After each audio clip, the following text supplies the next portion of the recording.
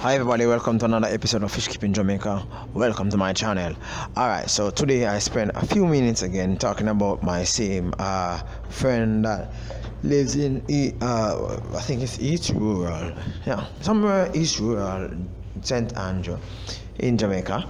Uh, now this individual is uh, you consider a large fish farmer, right? Uh, the question is being asked why is it that my fish farm is not as you know set up as this. Now i told you in several videos which i've done in the past that i had a pump that was actually circulating the water and i had a and i had a canister filtration system which actually was used to filter the water um, taking the waste from the water. And as a result of the bills and the expense that that actually carried I had to discontinue.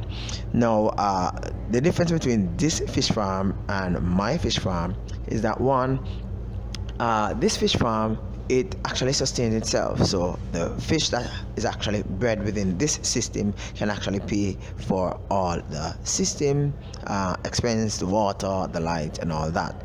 Uh, I believe that anything that you do that is uh, worth uh, spending a lot of money that some means of benefit should be there. Whilst uh, i do fish keeping mainly because i love it and it's a hobby right? Uh, my friend does it because it's a business right? So the trade actually helps to keep him afloat as far as uh, expense and revenue.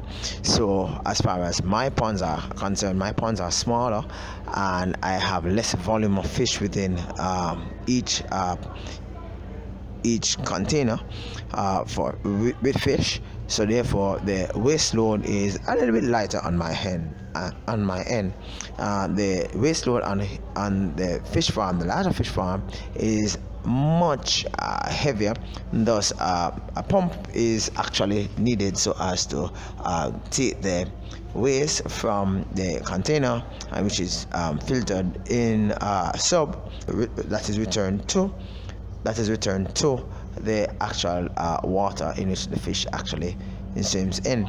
So that's the difference between myself and um, my friend. Also bear in mind that not much plants in comparative to my fish farm many fish farms should I say.